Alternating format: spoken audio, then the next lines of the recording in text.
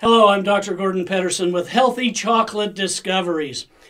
Today I want to talk about flavonoids. Flavonoids are the concentrated ingredient in dark, healthy chocolate that gives a physiologic benefit. In other words, antioxidants neutralize poisons. The most powerful of the antioxidants is a flavonoid, and it makes up about 16% of the overall chocolate count, unless you boil it.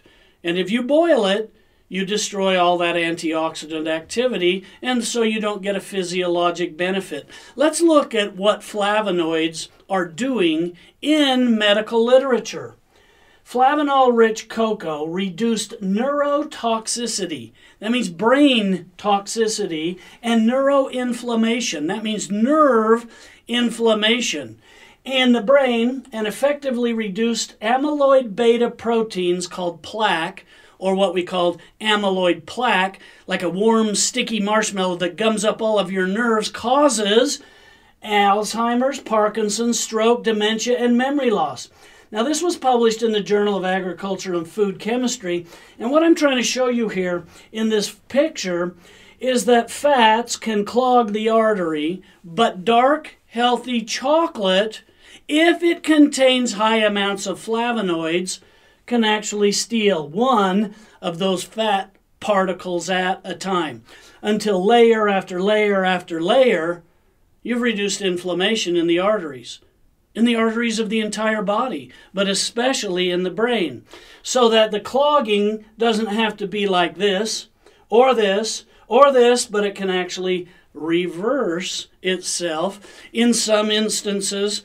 And according to the Journal of Physiology and Behavior, children that have ADHD as well as adults, symptoms may be improved by cocoa flavanols and dark chocolate. Again, we're finding that the highly concentrated flavonoids in the dark chocolate is the active ingredient. So, literally 720 milligrams of cocoa flavonoids, like what you would find in this single piece of healthy chocolate, improved working memory, reaction times, and the benefits were still measurable one week later from one single serving.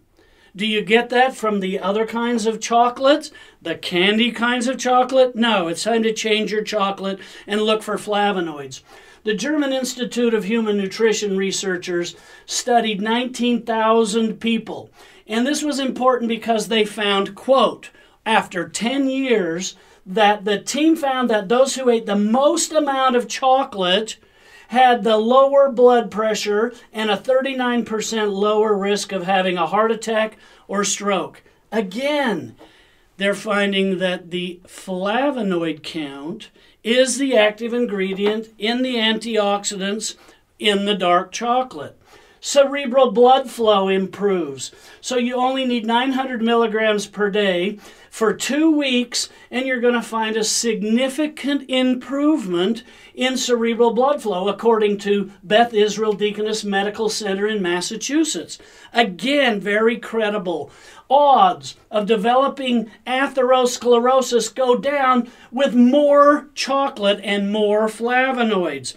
In addition, the highest levels of dark chocolate consumption were associated with a 37% reduction in cardiovascular disease disease and a 29% reduction in stroke. And look who said that. A publication by the University of Cambridge in England. So, as you can see, the higher the flavonoid count in the dark chocolate gives you the better physiologic response. So, if it were me, I would look for a product, a dark, healthy chocolate. And it only requires about this much or this much every serving three times a day to really significantly get under control the inflammation and the free radical damage in your body. If you truly want a physiologic response, look for a product with its flavonoid count right on the label.